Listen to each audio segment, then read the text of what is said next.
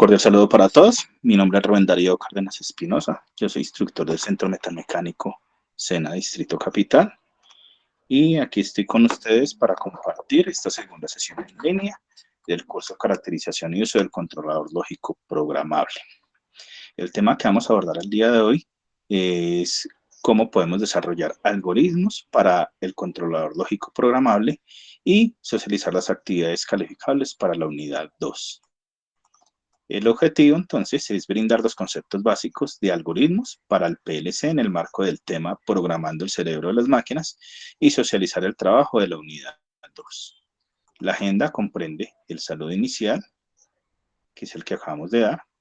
Vamos entonces a referirnos acerca de los contenidos temáticos de la unidad 2, que son conceptos de algoritmos para el PLC en el marco del tema Programando el cerebro de las máquinas y las actividades calificables de la unidad 2, sesión de preguntas y conclusiones. Se les va generando alguna pregunta a medida que vayamos avanzando en el tema, pueden levantar la mano o escribir en el chat y para darles la respectiva indicación. Recordemos entonces que, eh, que aquí entonces, eh, cuando ingresamos al curso, cada curso tiene una ficha. Javier, te voy a colocar modo porque si vas a pedir la palabra, la... ¿Okay?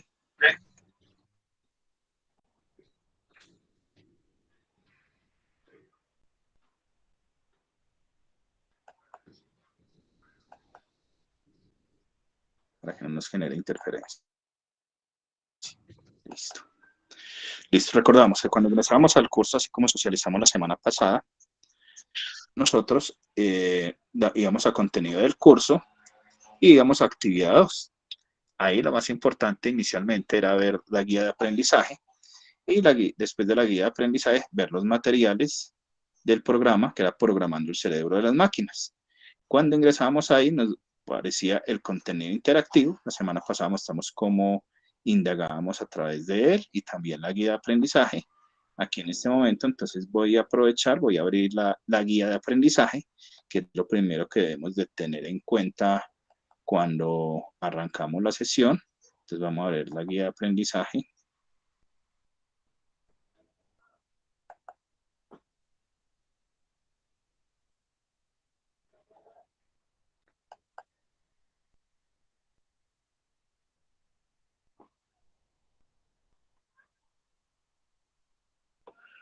Aquí tenemos nuestra guía de aprendizaje. Dice que esta la habíamos socializado. Entonces ya nos vamos a las actividades de la unidad 2. Donde ya entramos a la semana 2, que es eh, de 8 horas, donde vamos a trabajar el algoritmo de entradas y salidas de programación del PLC. Eh, la semana pasada, pues, habíamos socializado todas las actividades y nos enfocamos, pues, en las primeras dos. Ya esta semana vamos a la actividad número 3, que tiene que ver en elaborar un algoritmo para el controlador lógico programable PLC que cumpla las funciones deseadas por el cliente haciendo uso de las normas IEC que es eh, la Asociación Internacional de Comunicaciones. Para desarrollar esta actividad, debe identificar para el diseño del algoritmo los datos de entrada, información que desea producir y determinar lo que se quiere obtener de salida. Eh, cuando observamos el material del contenido programando el cerebro de las máquinas, pues vamos a tener como una información muy general, ya vamos a, verla dentro del campus virtual, y recordamos cómo ingresamos a él. Eh, para esta semana, entonces, esta actividad es de 8 horas. Para el desarrollo de esta actividad es importante dar lectura al análisis del componente formativo programando el cerebro de las máquinas. Y la evidencia es, consiste en tú realizar el algoritmo. Lo pueden hacer en un papel a mano, tomando la simbología en un diagrama de flujo, identificando entradas, salidas, condiciones especiales, así como va a explicar ahorita en la solución. Pero, ¿qué actividad vamos a hacer? Hay muchos que no leen y creen que es enviar cualquier algoritmo. Lo que se propone es a realizar es esta actividad puntual que nos presenta acá. Entonces la actividad que propone, eh, elabora un algoritmo con las funciones que debe hacer un PLC y se propone un sistema de dos bandas transportadoras que deben de cumplir un ciclo de trabajo. Aquí están las indicaciones que ya las vamos a socializar y a partir de ahí se entrega en PDF o en formato de imagen o en Word o en cualquier documento ofimático el, el diagrama de flujo con la actividad y se sube directamente. Aquí entonces vamos a ingresar al campus virtual para recordar cómo, cómo ingresamos. Recordamos entonces que de acuerdo a la presentación, lo primero que hacíamos es mirar la guía de aprendizaje, que nos dice qué actividades hay ahí, dice, tenemos que leer el contenido, tener en cuenta el contenido temático de la unidad.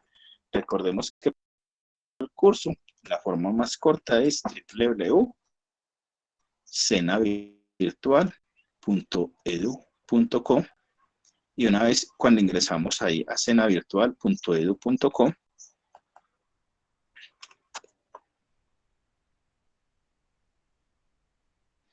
él nos va a pedir el usuario y contraseña.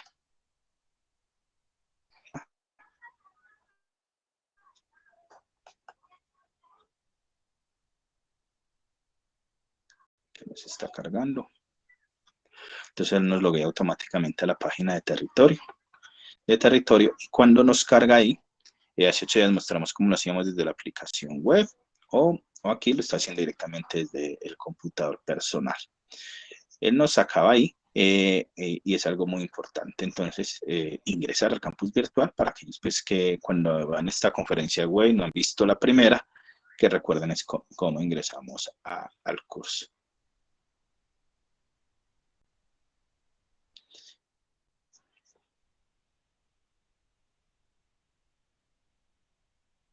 Casi siempre cuando el como con la publicidad, la invitación, uno generalmente la y espera una vez nos cargue, dar de aquí donde dice ingreso a cursos LM60. Darlo aquí.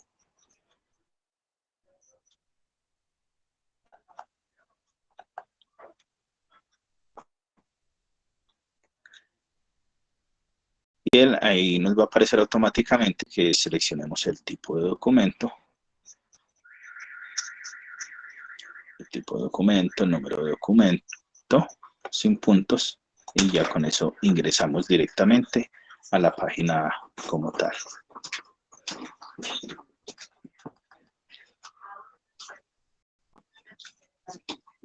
Aquí, como yo ya estoy logueado en el curso, pues automáticamente pues, me evita ese campo que debo elegir y simplemente me manda al campus virtual, donde veo la información en territorio con los cursos en los que tengo mi rol de aprendiz. Ahí hasta la ventana emergente que les decía. La cierro. Y entonces recuerden que cada curso aparece el nombre del curso y el número que es la ficha en la que ustedes están matriculados. En este momento estoy orientando cuatro cursos. Aquí voy a abrir cualquiera de ellos. Voy a abrir este primerito. Aquí para los que están ingresando estamos recordando cómo ingresamos al, al curso para ver el contenido temático de la unidad 2. La unidad 1 era de 16 horas, o sea, aproximadamente dos semanas. Y a partir de, de, esa actividad había la matriz de riesgos o el dibujo del PLC, con cualquiera de las dos que hicieran bien, eh, aprobaban la actividad. Los detalles los explicamos en la anterior conferencia Y aquí entonces voy, una vez carga el curso, voy a contenido de curso.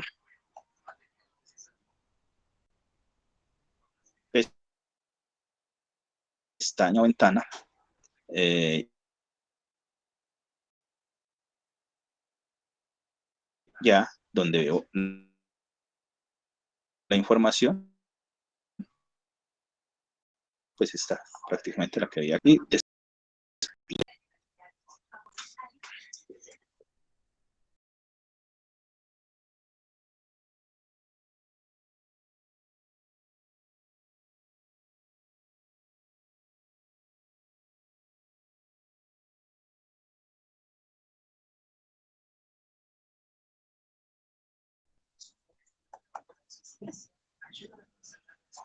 Entonces ya aquí vemos la ventanita que les decía, donde aparece el nombre del curso. Entonces aquí es donde está configurada pues toda la información pues más ordenada del curso como tal.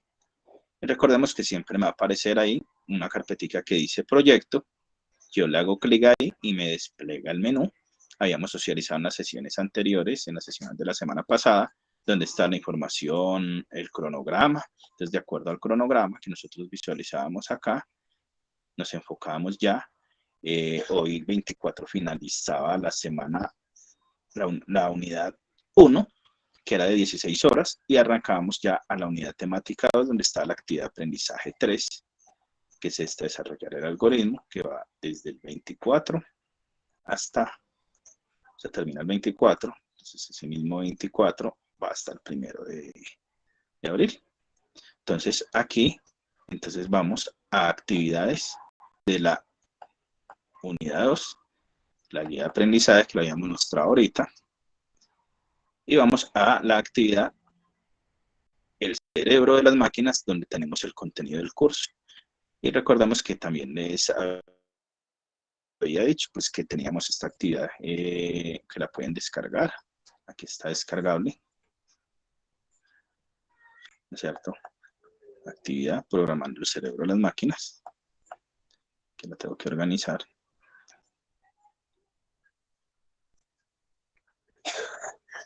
Entramos acá ya. Ahorita va a tener para organizar en el menú del curso. Que me quedo con la de la semana 2, de la unidad 1. programando el cerebro de las máquinas. Esa es como la, la base de esta, de esta unidad temática.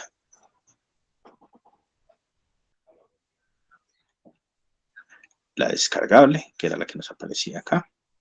Y aquí en versión web, versión en línea, está como nos aparecía, le hago clic para acceder y aquí puedo navegar directamente en otra ventana la información como tal.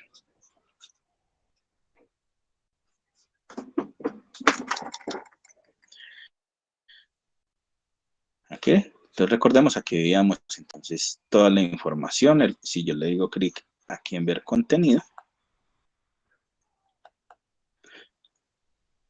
me aparece aquí el menú donde está, puedo decir, puedo ver la síntesis, está control lógicos programables, la estructura, la síntesis, que es como un mapa mental de lo que nos muestra que vemos el control lógico programable, es un elemento electrónico diseñado para controlar procesos secuenciales industriales, programado en tiempo real, su estructura como tal, es la arquitectura, como vimos en la actividad de dibujo del PLC, físicamente cómo está compuesto, que es la unidad central de proceso donde está el microprocesador, la memoria, la estructura interna, la estructura externa, entonces depende si es modular o compacto o nano, eh, las interfaces con que interactúa y las unidades de programación y periféricos, que es lo que conecto generalmente. Y las funciones que él tiene, que es detección de señales entrantes, mando de órdenes, comunicación, programación, las redes de comunicación, sistemas de superprecisión, control, módulos y usos, buses de campo. Esto es lo que encuentro generalmente ahí. Eh, están las actividades, aquí está para descargar en la parte manual. Eh, si usted ya navega en la información del curso como tal, entonces me empieza a dar como una introducción general esta es la estructura, que con base a esto fue que pudieron desarrollar el dibujo en PLC, las funciones que él tiene, un video introductorio, y generalmente interconecta con otros dispositivos, con los otros dispositivos fuera, porque recuerden que el PLC es el cerebro de la automatización. Y aquí nos muestran las ventajas de la utilización e inconvenientes que así se pueden generar. Es lo que nos habla de los controladores lógicos programables. Ya después, cuando hablamos de la estructura, empieza a hablar que entonces el, el PLC es como una especie de computadora industrial. Y así como un computador, eh, sino que está diseñado para trabajar en condiciones especiales, hostiles en la, en la, industria. Entonces tiene unas protecciones especiales, tiene una parte física que es ese hardware, que es esa estructura que lo compone, y otra el software que se ubica ubicada dentro de la memoria, que es a través de la cual eh, nos podemos, esta es la estructura como cualquier dispositivo electrónico llámese tableta, computador, el PLC, tiene un procesador, tiene unas interfaces de entrada y de salida, en las de entrada es donde se conectan generalmente los sensores, en las de salida los actuadores, eh, adentro está el dispositivo de programación, algunos se pueden programar directamente desde ahí o con comunicación con las interfaces de comunicación a través del computador por sus diversos puertos de comunicación y tiene una fuente de alimentación. Como tal, entonces, aquí más adelante, pues nos muestran el material, pues tiene ahí una estructura aquí, una estructura externa, que es como la parte física. Entonces, generalmente, eh, ahí tengo una forma donde a partir de las entradas y hago la configuración de la programación para obtener una salida deseada, obtener una reacción de acuerdo a ese. Y internamente es esa estructura que tiene como tal eh, la estructura interna, entonces tengo, le entro así como si fuera un computador, tengo memoria, sistema de entradas y salidas, registros, toda esa arquitectura como tal, la memoria, que es donde generalmente se almacena la información, la CPU, que es la unidad central de proceso, donde está el microprocesador, que es el cerebro, las unidades para entrada y salida, ahí es donde interactúa de acuerdo a esos diversos dispositivos que hay en la industria, y las interfaces a veces eh, necesito, por ejemplo, proyectarlas a través de una especie de tableros de mandos de control, entonces dice esa interfaz hombre-máquina, y necesitamos unas comunicaciones. Entonces hay unos protocolos, que es el RS232, que generalmente se asocia al puerto serial, eh, que tenían los antiguos computadores, pero en los PLC en la industria es muy utilizado, el 485 y el 422, que son los medios generalmente donde tienen como la comunicación, que hoy en día también se pueden comunicar vía LAN por la tarjeta de red o USB. USB. Y las unidades de programación, que es la forma donde tiene como para programarse y con los periféricos. Se observan aquí, entonces de acuerdo al contenido de programación del cerebro de las máquinas, no encontramos como más, más información, ¿no es cierto? Entonces aquí es muy importante en esta sesión 2 tener en cuenta eh, que cuando desarrollamos la actividad, eh, la actividad nos presenta eh, generalmente el instrumento de evaluación. Esta era la actividad de la A2. Estamos en la actividad que es de la unidad 3. Perdón. Entonces sería la actividad 3 la que vamos a desarrollar. Y aquí, la actividad 3, nosotros, ¿qué encontramos? Eh, un anexo. Entonces aquí, clic para acceder al instrumento de evaluación y clic para acceder al anexo. O también lo encontramos acá, que es el mismo anexo del algoritmo. Entonces aquí voy a abrir una nueva pestaña que es el anexo que viene trabajado ahí, el cual eh, nos da una información como básica, básica sintética, que es guía para elaborar un algoritmo, la simbología y un ejemplo ilustrativo de cómo se hace. Básico. Como este es un curso de fundamentación, entonces aquí no, generalmente no nos enfocamos no necesitamos ver, ah, es que tengo que aprender a hacer un algoritmo, un diagrama de flujo, por eso usamos los elementos y lo que hacemos es con la explicación que vamos a ver en la sesión de hoy. Eh, a partir de ahí es que ustedes desarrollen y pueden hacerlo o a papel o lápiz o tomar de foto o en cualquier medio ofimático. Entonces, que voy a continuar con la presentación. ¿Cierto? Entonces, aquí vemos, en este caso, la actividad de aprendizaje, que es elaborar un algoritmo, que es la que vimos en la guía, que entonces un algoritmo que es, es una secuencia lógica de pasos para solucionar un problema. Eso es lo que decimos generalmente algoritmos. Generalmente en los algoritmos hay una entrada, una salida, y para realizar esa secuencia lógica de pasos hay unos procedimientos que generalmente uno que hace cuando empieza todos estos ciclos de formación, a conocer que existen unos operadores, unos operadores aritméticos, como la suma, la resta, la multiplicación, la división, y unos lógicos que tienen que ver con las compuertas y las funciones lógicas, la compuerta OR, NOT, XOR. Y más allá de eso, también hay una jerarquía pues, de operadores y hay una forma, unas condiciones que tienen que ver, entonces hay unos ciclos, eh, unas condiciones, eh, qué pasa si se cumple o no esta acción, eh, eh, o unos ciclos que la forma como yo puedo repetir las operaciones.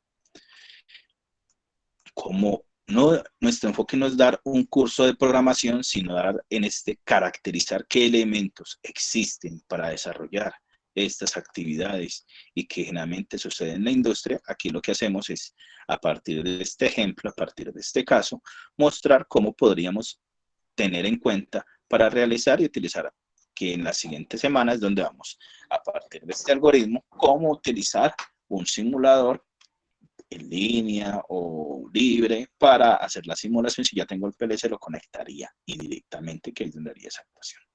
Entonces, lo que nos pide es tener este caso eh, una, esta actividad se propone un sistema de las bandas transportadoras que deben de cumplir con el siguiente ciclo de trabajo. Al activar el pulsador START, se comenzará a, a, a funcionar una banda que vamos a llamar banda A, que transporta piezas sobre ella hasta el comienzo. Y al llegar a este punto, las piezas caen por gravedad, por dicha resbaladera, al pasar a un sensor luminoso, lo activan produciendo una parada en la banda, cinco segundos después y puesta en marcha la banda B. Las, piezas caídas en la banda B se desplazan por ella hasta llegar al final, donde está ubicado otro sensor, y al pasar las piezas por el sensor F2, la banda B se para y se termina el ciclo de trabajo. Entonces, para hacer esto, generalmente, entonces, eh, queremos pasarlo en lo que se llama un diagrama de flujo. Ese diagrama de flujo, a partir de ese diagrama de flujo, eh, que generalmente donde lo encontramos, es una representación gráfica que nos muestra esa secuencia de pasos, algunos lo llaman flujograma, eh, generalmente en las empresas los vemos en los sistemas de gestión de calidad, que es un elemento que pasan por procesos donde todo proceso tiene una entrada, una transformación que es el proceso como tal, y una salida o varias entradas y, varias salidas de acuerdo a lo que pase en ese proceso. Otro en los manuales técnicos los encontramos y otro cuando yo voy hacer una operación de programación de cualquier dispositivo electrónico, ya sea en un computador, en un sistema, lo que se conocen sistemas embebidos. Los embebidos son como esos cerebros que en microprocesador lo asociamos a un computador, un PLC o un microcontrolador que ya es independiente en un solo chip o hay unas tarjetas de desarrollo que generalmente es más pequeño, dedicado a una actividad especial, pero para programarlos necesitamos generalmente tener una lógica y sacar ese algoritmo. Y ese algoritmo, ese diagrama de flujo es como si fuera el plano eh, para hacer una casa, el plano arquitectónico. El plano eléctrico que se ubica sobre el plano arquitectónico para hacer todo el cableado eléctrico de acuerdo a unas normas, unas reglas y condiciones.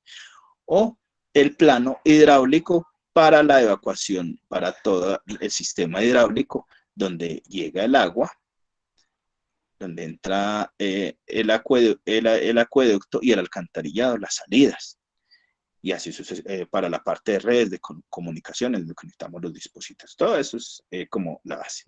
Entonces, esos algoritmos se usan en muchos campos y son una herramienta que nos permite documentar y resolver problemas para comprender y comunicar esos procesos que pueden ser complejos y también se emplean para validar e identificar posibles errores en esos procedimientos. Al verlo más gráfico, todo nos entra por los ojos. Se representan en un esquema gráfico que emplea figuras como rectángulos, óvalos, rombos y otras que indican el tipo de acción a realizar, junto con flechas conectoras que establecen el flujo y la secuencia de información. Generalmente, eh, entonces, para cuando yo hago un algoritmo, generalmente eh, parto de ese diagrama de flujo. Cuando ya tengo ese diagrama de flujo, utilizo una forma ya para codificarlo. Los primeros que se hacían en los años 60 era a través de tarjetas perforadas donde se llenaba la, información a la máquina. Después hubo que se conoce generalmente como programación en tiempo real, es eh, un, lenguaje ensamblador, casi un código de máquina donde escribo números o dígitos, generalmente son números, el computador entiende números binarios, y muchas veces se visualiza en un sistema número que se conocemos como el sistema hexadecimal, por eso, entonces aquí eh, generalmente vemos que aparece como en letras, entonces 1, 2, 3, 4, 5, 6, 7, 8, 9, y después aparece la A, la B, la C, la D, la, la E y la F, porque tiene que ver con el sistema de numeración hexadecimal, pues para visualizarlo mejor y acortarlo, es muchas veces como se ve, pero para el computar son unos y ceros, nosotros entendemos como un sistema decimal que emplea esas figuras. Todas esas representaciones y algoritmos, entonces esta es la parte que no tiene, si ustedes vieron ahorita que les mostré el anexo 1, mostraba una simbología, pero no estaba muy completa, ahí es donde entro en esta parte como con el valor agregado de parte mía, que es la simbología de los algoritmos.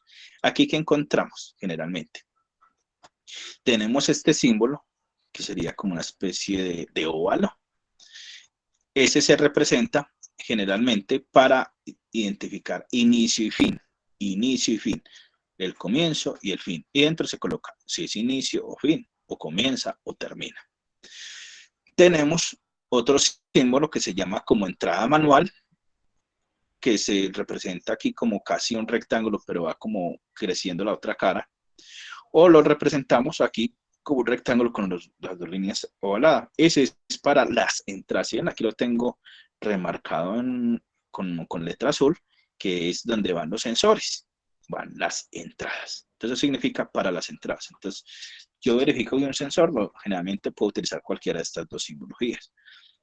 Eh, si quiere ser ortodoxo, generalmente la, la de arriba dice si yo entrar por teclado y la otra si es automático por sensor no interfaz, pero con cualquiera de las dos se puede utilizar.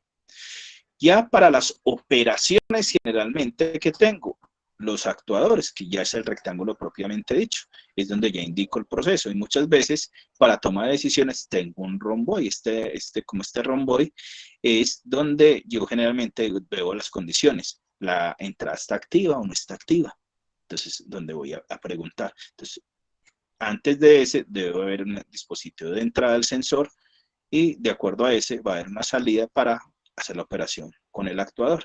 Y si yo quiero visualizarlo en teclado o mostrarlo como salida, generalmente utilizo este, esta otra que es eh, este símbolo, que es como, le dice como salida de impresor. Hay unas líneas de conexión que me indican el orden, que son las flechas. Y hay un círculo que es un conector cuando tengo el diagrama muy grande para que me vaya y como que me lo mande a saltar a alguna parte. Eh, o si tengo varias páginas, hay conectores fuera de página y hay otro bloque, este bloque que lo vemos más abajo, ya no vemos como romboid, es como una mezcla entre cuadrados y triángulos. Es un bloque repetitivo, es para las condiciones, los ciclos, aquello que se puede repetir. Aquí en el módulo controladores lógicos programables, ahí ustedes pueden encontrar, eh, aquí creo que aquí tengo el, enlace, eh, eh, ver eh, diagramas de flujo de, aquí lo estoy abriendo directamente. Voy a copiar aquí el enlace. No sé, me voy a devolver y lo abrir en otra pestañita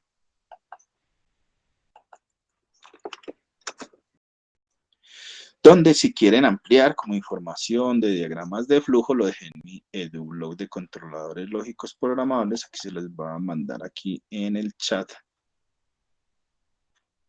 de aquí del curso y en el, en el chat.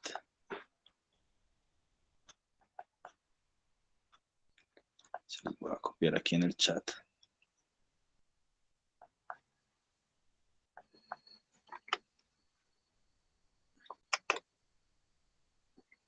Que va a cargar ese necesito donde encontramos toda esa información de los diagramas de flujo.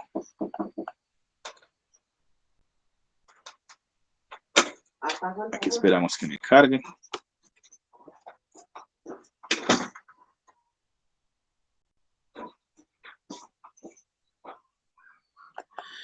Entonces me carga, vamos aquí a, a PLC.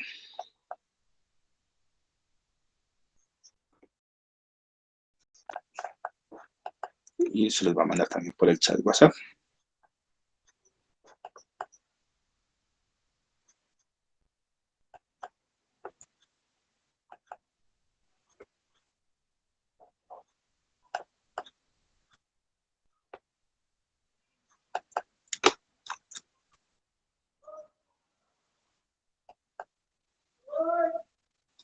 ¿Dónde va? Entonces, eh, esa simbología es muy importante. Entonces, ahorita vamos a, mostrar cómo relacionamos eso con,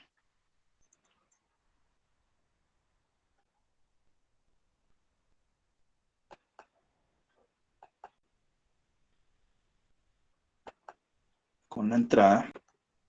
Aquí vamos, aquí hay una pregunta, dice Javier, el esquema para utilizar esquema Grapset, lo práctico para organizar las ideas antes de ir al simulador. Pregunta, para el esquema utilizar Grapset, lo práctico. El Grapset es otra forma generalmente de programación y es un lenguaje de programación como tal, no es un diagrama de flujo. Ese lo puedes presentar para la siguiente fase, eh, que es el funcionamiento, para el funcionamiento como tal.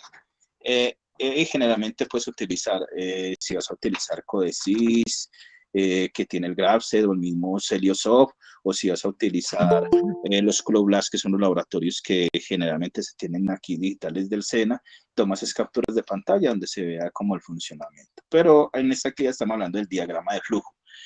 Eh, para programar un PLC hay cuatro formas, que es el lenguaje GraphC, el lenguaje de contactos escalera, o el lenguaje, eh, o también está el lenguaje de texto estructurado, que es muy parecido como, como un código, eh, y el bloque de funciones. Pero eso es, lo que vamos a ver después. Primero, ahorita estamos como en diagrama de flujo. Creo que con eso hay respuesta que me hizo Gabriel que está listo. Entonces aquí vemos, entonces aquí muestro ya Nota, diagramas de flujo. Entonces, aquí es una sesión generalmente que yo di a un curso donde fue introducción de diagramas de flujo con un grupo de ASI, cómo utilizamos algo. Y aquí en información encontramos pues toda la simbología de diagramas de flujo, si quieren como complementar o profundizar en los ciclos como tal. Y hay algunos ejemplos que pueden ver que lo encontramos en ese enlace que les envié. Y aquí la bibliografía a partir de donde salió esa información, que es muy importante. Entonces, íbamos acá. Entonces, para elaborar el diagrama de flujo, revise la información disponible, identifique las principales actividades, acciones, procesos, subprocesos, escriba la secuencia de pasos para llevar a cabo, seleccione los símbolos, elabore el diagrama y utilice una herramienta informática para hacerlo. La parte que teníamos acá. Entonces, la evidencia, entonces aquí tenemos la actividad, entonces tenemos un sistema de dos bandas transportadoras que deben de cumplir con el siguiente ciclo. Entonces, ¿qué es lo primero que va a entender? Ah, existen dos bandas transportadoras. Entonces, si yo veo esas bandas transportadoras eh, que quisiera ver, entonces quisiera representar. Entonces, aquí, ah, simplemente aquí me adelanto, este es un gráfico que hice de relación, pues, como los dos procesos.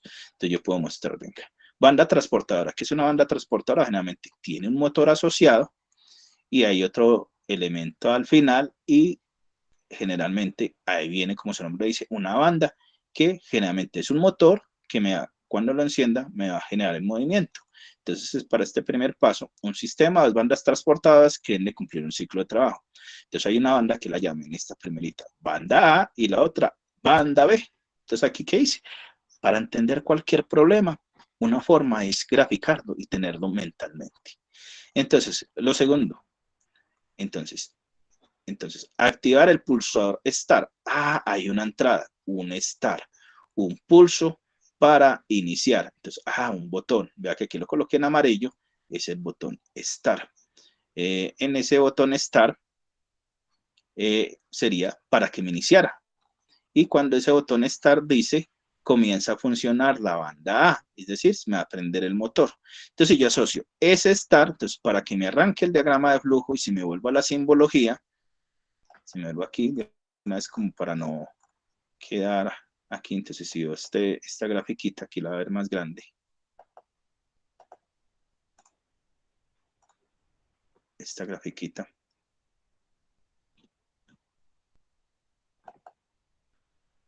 Esta lateral, aquí no me lo dejo. Vamos a ver si me deja la lupita. Para que la hagamos más grande.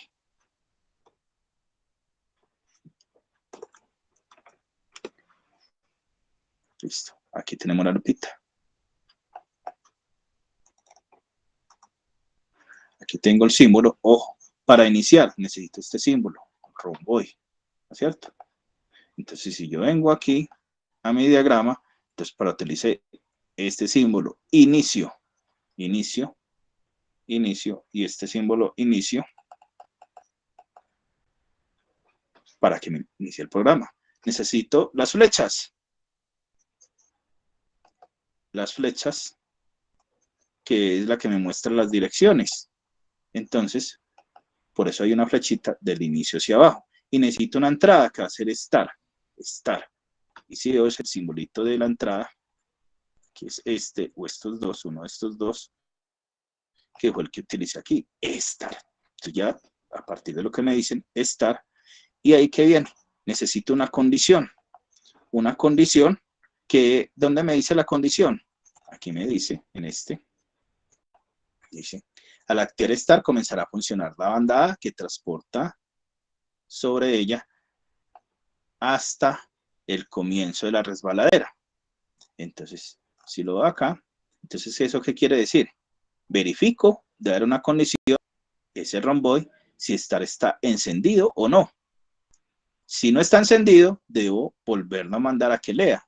Y si sí está encendido, me va a activar la banda, va a prender este motor y ya vengo a la otra condición que me dice.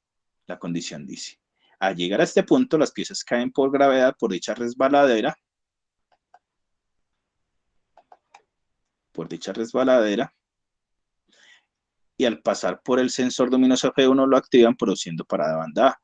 Vamos a entender. Entonces, tengo la aquí, este motorcito, este estar para que me empiece. Aquí lo estoy leyendo. Si lo activo, ¿qué va a hacer? Me va a prender este motor, el motor de la banda, que se me mueva.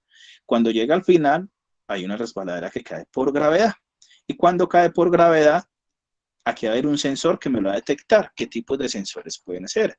Un sensor fotoeléctrico que no haya contacto, un final de carrera, que es como un microinterruptor que hay ahí. Entonces, en la parte de automatización hay muchos tipos de sensores y de actuadores como tal. Aquí generalmente, entonces, hay un sensor que me lo va a detectar. Cuando ese sensor me lo detecta, entonces, de acuerdo a lo que me dice ahí, al activar Start, comienza a funcionar la banda, al llegar a este punto, caen por gravedad dicha resbaladera y al pasar sensor luminoso lo activan, produciendo que la banda para, pare 5 segundos para que no le caigan más piezas encima, después y puesta en marcha en B. Entonces lo vemos, entonces es como la lógica, tienen una distancia que ya saben que se demora 5 segundos, hay un espacio entre una y otra. Cuando llega acá, para, para que no caigan más piezas, espera 5 segundos, apaga este motorcito y va a prender este otro. Prende la banda. Entonces eh, aquí es donde me dice, prendo la banda y activo temporizador en un segundo. Hay dos formas de utilizar el temporizador de una vez aquí como una acción o como un retardo que lo puedo poner ahí con el símbolo de retardo de acuerdo a la simbología que estamos socializando aquí atrás. Hay una simbología pues para los retardos como tal. ¿Cierto? que podemos tener, aquí simplemente lo dije, entro el proceso, seguí, entonces, ¿qué hago? Miro, y aquí estoy verificando la entrada, tengo que verificar si ese sensor F1 está activo, y la condición, si el sensor está activo y el tiempo, en tiempo está en cero, es decir, no está marcando el tiempo, ¿qué hago? Paro la banda, apago la banda apago la banda A, o sea, apago el motor A, prendo el motor B, y ya, de acuerdo aquí, ¿qué me dice la opción? Listo. Cinco segundos después y puesta en marcha banda B. Las piezas caídas en la banda B se desplazan hasta allá y llegar al final, donde está ubicado un sensor luminoso F2. A las piezas, al pasar por ese sensor luminoso F2, separa la banda B y termina el ciclo de trabajo y vuelve a empezar. Entonces, ¿qué dice? Llega aquí este sensor, para el ciclo, entonces aquí verifica, ese sensor está activo, sí o no, ¿qué hace? Apago la banda y fin de ciclo, y después vuelve, vuelve a comenzar. Aquí ya en esta gráfica, entonces ya empiezo como a relacionar, entonces, primero lo que debo tener es entender, entender el programa. Entonces, para entender la actividad, ¿de qué debo tener? Entonces, visualizo, hay un botón para iniciar, ¿no es cierto? Que es Start, que va, va a definir como entrada. Para el diagrama de flujo, ¿qué debo tener? Una entrada y una salida, símbolo de inicio, símbolo de fin, que aquí están remarcaditos en negro, la flecha que me da la conducción, entrada, bandas transportadoras que van a ser salidas, que son los motores, banda A, banda B, aquí resaltaditos en verde, salida 1, salida 2, ¿no es cierto? Entonces, primero, lo primero que debo comprender es, ¿qué entradas tengo? Entradas tengo estar, tengo la entrada de sensor luminoso F1 y sensor luminoso F2. Entonces lo que yo hago es transcribir, identifico, si vemos acá, cuáles son las entradas. Entradas son start, que es pulsador de inicio, F1, sensor luminoso de llegada a banda A, y F2, sensor luminoso de llegada a banda B. ¿Y qué salidas tengo? A, que es el actuador de banda A, y B, que es el actuador de banda B. ¿Qué condiciones especiales tengo? T1, que es el temporizador de 5 segundos, que se activa cuando con la banda A. O sea, cuando llega la banda A se prende y ya sabe 5 segundos. Apaga y activa la banda B. Proceso a seguir, la descripción dada en la guía de acuerdo al diagrama de flujo, que son los pasos que nos dijeron. Entonces aquí se transcribe, esta es otra forma, aquí se utiliza un procesador, aquí lo hice creo que en un Word, eh, donde, o hay otras aplicaciones que, que muestro ahí más adelante, donde se pueden utilizar. Aquí es estas cinco mejores herramientas para crear diagramas de flujo online. Entonces era este, copiar vínculo, se los va a transcribir acá.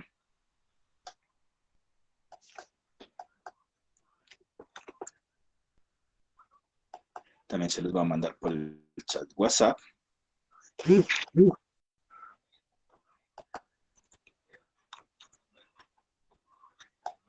Para que lo tengan ahí.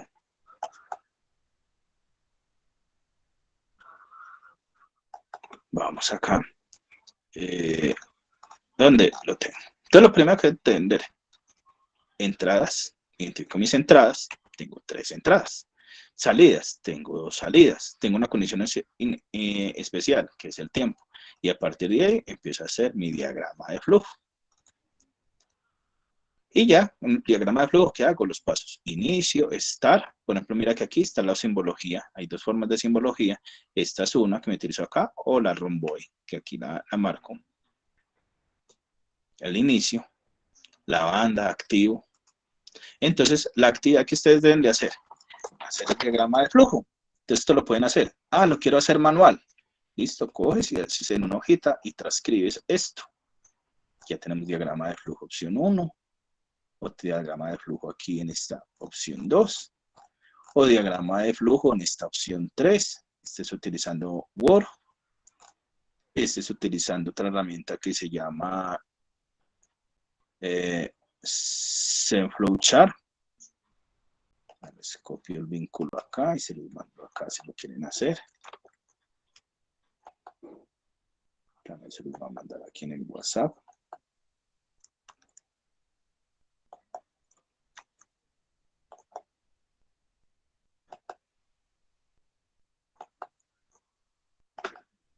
O en mi Word, Excel, encuentro esas herramientas de, para hacer diagramas de flujo, donde lo puedo hacer o lo puedo hacer manualmente donde lo puedo encontrar. Entonces, hacer diagrama de flujo y tener esto. ¿Cuáles son las entradas?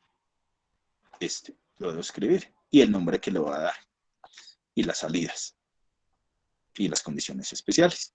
Aquí en este, aquí vemos entonces, utilizando Word, generalmente depende del Word, entonces están formas y están formas de diagrama de flujo diagrama de flujo. Y aquí es donde las encontramos.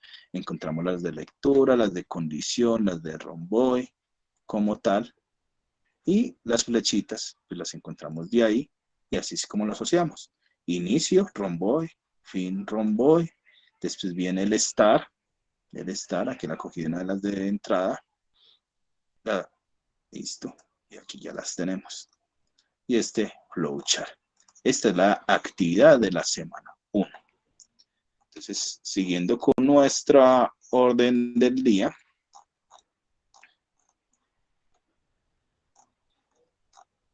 nuestra propuesta.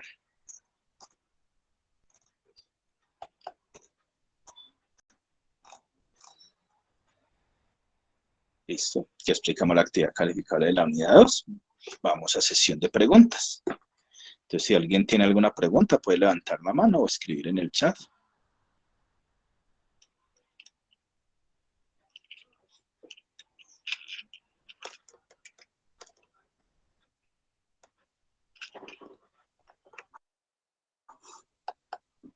aquí en el chat, no veo preguntas. Miremos entonces las personas que están conectaditas. Va a preguntar directamente. Hasta el momento. Ah, Harold, ¿no tiene la pregunta hasta el momento? No, nada, todo está muy claro y está, usted explica muy bien. Muchas gracias. Ok, muy bien, Harold. Eh, Alejo, ¿qué dice aquí? Alejo Silva, ¿tiene alguna inquietud? No, no, señor, todo claro. Ok, Brandon.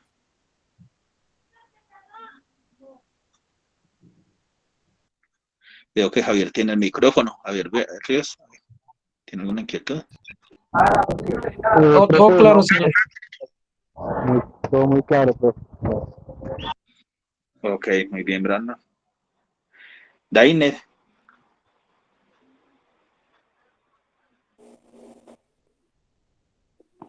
Todo bien, profe. Ok, Duan.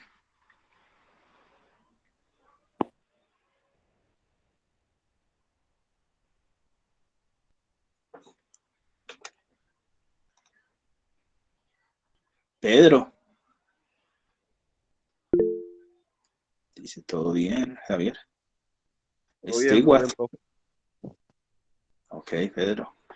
Listo, entonces si no, si no hay más preguntas, entonces damos por terminada esta sesión. Eh, ya va a parar la grabación y se las envío. Y se las envío por los diversos medios, chat WhatsApp, mensajería instantánea, correo electrónico y va a quedar en el EduBlog PLC como entrada, así como, como hicimos en la página principal, como hicimos en la anterior, y esa es la que les envía el correo. Entonces espero que estén muy bien. Recuerden, entonces, en este es un proceso. Y en la primera que hicimos, entender las partes del PLC, el dibujo. Y ya a partir de acá, aquí en esta presentación que debo corregir, es que en la presentación anterior, en el curso anterior, junten la actividad 1, las actividades 1 y 2. Aquí sí las actividades separaditas. Entonces aquí en esta presentación la va a corregir.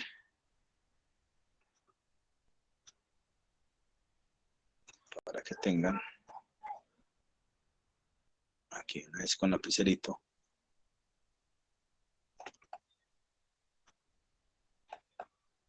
Eh, que la actividad del cerebro de las máquinas.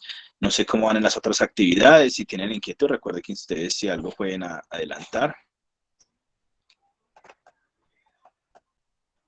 Y pueden adelantarse con las grabaciones que hayan nueva sesión en línea del PLC o preguntarme cualquier inquietud.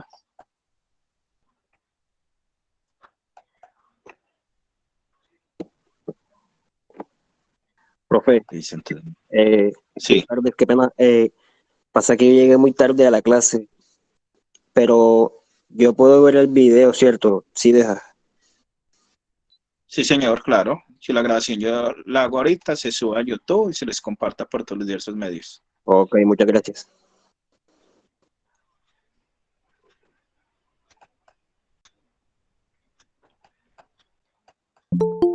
Esta presentación se las mando, les mando el enlacecito.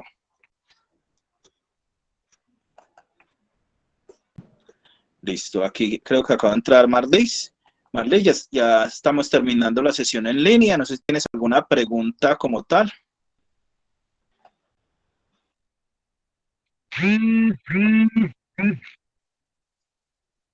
O si no, te invito a que la grabación de clase. Listo, profe. Muchas gracias por la formación. Nos vemos en la próxima. Bueno, hasta luego.